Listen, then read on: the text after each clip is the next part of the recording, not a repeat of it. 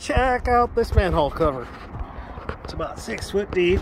We got a pipe coming in there and one there, and one down there. We're missing one, two. That one's cracked. That one's cracked.